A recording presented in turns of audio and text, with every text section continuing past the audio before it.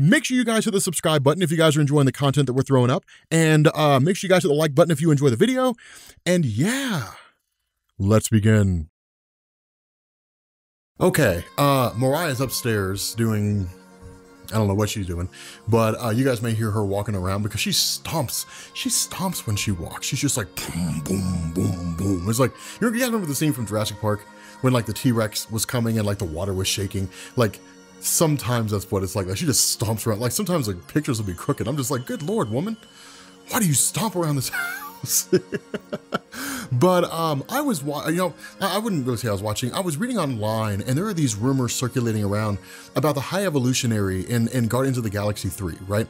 And and this is this is intriguing to me. Now I know that Kevin Feige did a Ask Me Anything on Reddit, right? And and you know, I don't know what all was said because I haven't read the whole thing. Really haven't read any of it, actually.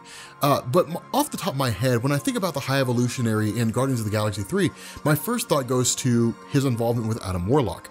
But at the same time, I kind of feel like it'd be a little too much, right? Like to throw the High Evolutionary in there, um, having Adam Warlock show up and be the main villain of the film, because that's really what he was, right? So a little bit of history here. For those of you guys who are, are unfamiliar with the whole High Evolutionary, Adam Warlock, you know, that that that whole situation.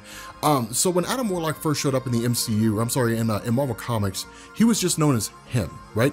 And in the Fantastic Four comics, there was this group called the Enclave, and they wanted to use like, you know, science and technology as a means to like conquer the world, essentially. And Adam Warlock was their first creation in terms of creating like a perfect human. The issue that you ran into here, or that they ran into, was that with Adam Warlock being kind of gestated in a cocoon, when he emerged, it was too bright and too much for them to be able to see.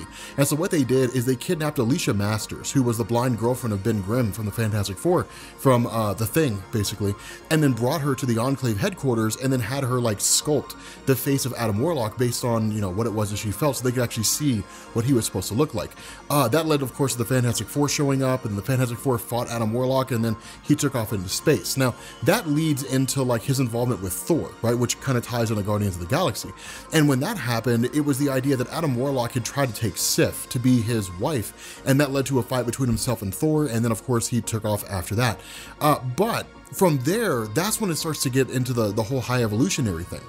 And so, so when you when you look at Adam Warlock and you look at like the writers of his characters, his stories over the years, he's really had like two huge writers who have done more to like change his character and really sort of elevate him and and evolve him than almost any other writer. The first that, or not really the first, but the but one that most people know about is Jim Starlin, right? The guy who wrote Infinity War, Infinity Gauntlet, all that kind of stuff. And Jim Starlin really took um really took Adam Warlock and turned him into more of a cosmic character, uh, where he was dealing with like cosmic events and different things like that. But Starlin was also the one responsible for creating a kind of rapport between Thanos and Adam Warlock. And that's why whenever you guys look his character up, you see this sort of camaraderie, or at least this, this sort of respect that goes on between himself and Thanos, even if they're not the best of friends, that was all predicated on the work that Jim Starlin did. But I would say more important than him was a guy named Roy Thomas. So Roy Thomas was this writer who had his hands on everything in Marvel back in the day. Probably the single most important writer in Marvel Comics uh, outside of Stan Lee. Like he had a huge hand. Like like almost all the modern depictions of characters that you see in Marvel Comics is all based on the work that Roy Thomas did. Like Stan Lee and Jack Kirby created those characters, but Roy Thomas kind of evolved them into the characters that they are now. Uh, but the overall gist here is that, you know, between the time that you had Jim Starlin taking over Adam Warlock and when Adam Warlock fought Thor, you had the events of the High Evolutionary. And the High Evolutionary is a guy named Herbert Wyndham, right? And this is a guy who's basically obsessed with mutation, um, not really with mutation, but with evolution. So he's very akin to like Mr. Sinister. The difference is that Mr. Sinister is obsessed with the genealogy of of Jean Grey and Cyclops, right? You know, like if they ever had a had a child, it would be like this insane, insanely powerful child. That was really kind of where his obsession kind of culminated. I mean, he was obsessed with like the mutant gene, but outside of that, it was really more like Jean Grey and Cyclops. With the High Evolutionary, it was like evolving humanity, right? And so Herbert Wyndham was like this genius scientist who was in Britain and all that kind of stuff. I think he went to Oxford or something like that. Anyway, he was more or less ousted for his his radical ideas on evolution and ended up like evolving himself. He's crazy powerful in terms of the powers that he possesses. He can like grow to huge sizes and really like like all kinds of different things. He can give himself powers by like hyper evolving himself. Uh, but he's best known for taking like like animals, you know, like like you know cows and things like that, uh, and actually like you know, evolving them. For example, um, when when Magneto, during the story of Magneto uh, in his origin, when he and his wife had escaped from uh, the concentration camps during World War II, and then eventually settled down, when everything went south with them, and, and like people realized Magneto had powers, and they burned his house down, which killed his daughter, and his wife took off, she was pregnant with Scarlet Witch and Quicksilver, uh, she came across the, the Wundagore Mountains, which is where the High Evolutionary resides.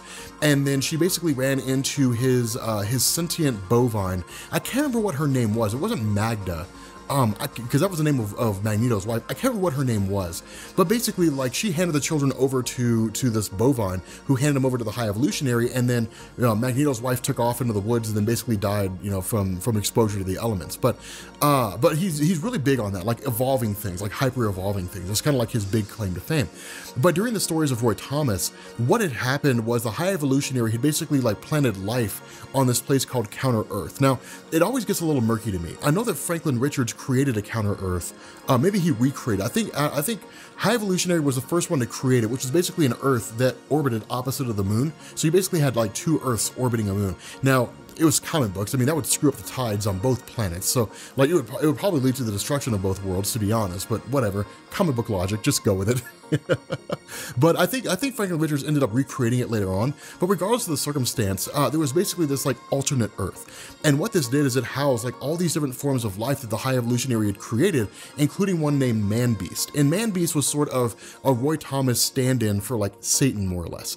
And so what ended up happening is Adam Warlock was eventually like discovered, woken up, that kind of stuff by by the High Evolutionary, who said like you have to go to Counter Earth and fight Man Beast. And in order to prepare him and give him what he needed, the tools he needed to win, he gave him the Soul Stone. Now we don't know where where the High Evolutionary got the Soul Stone before he gave it to Adam Warlock. We just know he had it, and so he gave it to Adam. Adam went over to Counter Earth, ended up fighting Man Beast, um, lost the first time, and then he was crucified, and then he won the second time, and then basically Man Beast was was essentially defeated. Uh, but, you know, you, you take that concept and you throw it into the Marvel Cinematic Universe and you run into a couple hairy areas right there, right? I mean, one, like the Infinity Stones already exist. We, we already know that from the events of Infinity War and, and Avengers Endgame and even all the movies that took place before that. And none of them are in the possession of, of High Evolutionary, at least not that we're aware of. Now, it's entirely possible that like they disperse and they're, they're you know, like they, they really are indestructible. They're fundamental forces of the universe. And so, so long as the universe exists, the Infinity Stones will always like come back in some form or fashion. They'll like be recreated even if they're destroyed. Uh, but regardless of the circumstance, there's no reason to believe the High Evolutionary would have the Soul Stone. If the High Evolutionary does not have the Soul Stone, then that kind of throws out the whole basis behind which he would be involved with Adam Warlock. And again, it just seems like it'd be too much to fold in because what you're talking about is a movie where the Guardians of the Galaxy encounter Adam Warlock for the first time. Adam Warlock and them presumably face off against each other since Adam Warlock would basically be like would be brand new. It would be like if you took a you know just kind of of cloned a human and then woke them up, all they're confused and, and scared about the world around them, and then they just kind of react accordingly. Um, and then in turn, somewhere in the mix, you throw in the high evolutionary. I don't really know how that works. The only way you could really throw the high evolutionary in to the Marvel Cinematic Universe is if you use them as a way to throw in mutants, right? Now I know I'm always talking about like the X-Men. Honestly, I just want to see the X-Men in the MCU. I don't care how they do it. but what you could basically say is you could say that like the high evolutionary was the one who basically like evolved the genes of like Scarlet Witch and Quicksilver and they're they're basically like mutants. It's just they never knew, right? They they always thought they were just like humans who somehow got powers, presumably from the Tesseract. But what you can say is that like the high evolutionary like, you know, modified their genes or something like that so that when they were exposed to some extreme level of power, some exotic level of power, it activated those genes and basically they're the first step in the experiment, right? And so like once the high evolutionary knows it works, he synthesizes whatever it is and spreads it across the world and that's where mutants come from. There's there's a lot of different ways that they could do that. But but to take a character like him and throw him into the, the MCU is kind of quirky because like the High Evolutionaries fought Galactus and like held his own. So he's by no means a weak character, right? Like the Evolutionary War. Like he's he's by no means a, a weak character. Like he's pretty intense and he's pretty tough. I mean, like he would, I mean, if I'm being honest, even Thanos, like in the Marvel Cinematic Universe, uh, the version of him that didn't have the Infinity Gauntlet, like High Evolutionary probably could have beat the hell out of him. Like he probably could have just like could have crushed him quite readily. Uh, and if he couldn't, he would just like hyper evolve himself and then give him whatever powers he needed, enhance strength or speed or whatever in order to defeat Thanos. But like he could topple him. You know, I mean, you, you take High Evolutionary from the comics, you pit him against Thanos from the MCU, and like High Evolutionary would win. Now, a lot of that's because the, the characters that we see in the Marvel Cinematic Universe are usually weaker than the versions that we see in the comics, for good reason, because you're talking about a more tangible, realistic version of those characters. But the fact remains that, that throwing the High Evolutionary into the MCU, it is a cool idea, but I feel like Guardians of the Galaxy 3 would just be too much. It would be too soon, and, and it would just be kind of throwing a ton of stuff in there, right? It would be like if you had Captain America, um, the first Avenger, and like, I'm sorry, I, I, wouldn't even say Captain America, the first Avenger, um, Captain America 2, the Winter Soldier, and you had like Bucky Barnes, and like with that whole conflict with Bucky Barnes, like the Red Skull comes back. Like it would be like, okay, I mean, it'd be cool, but like there's a lot of stuff going on in that movie, and it would just be too much. And so again, like it would be, you know, it, it would work, but just kind of trying too hard. So my thought is if they're gonna throw in the High Evolutionary, I would save him for a different movie. Honestly, I would make him the main villain of like an Avengers story because he, easily could be. You make him like the main villain facing off against the Avengers, oh, it would work so easily because he's just so powerful and so capable. But I don't know, let me know what you guys think down in the in the comments section. I'm really curious what your all's thought is. Again, as far as I'm aware, it's just a rumor that's kind of circulating out there, but I thought we could address it, you know, and have this discussion about it. Uh, you know, Guardians of the Galaxy and High Evolutionary, the MCU explained or something like that. But uh, with that being said, guys, we're gonna bring this video to an end. If you are new here to Comics Explained. Make sure you guys hit the sub button to become part of the Rob Corps. If you guys enjoyed this video, make sure you drop a like, and I will catch you all later. Peace.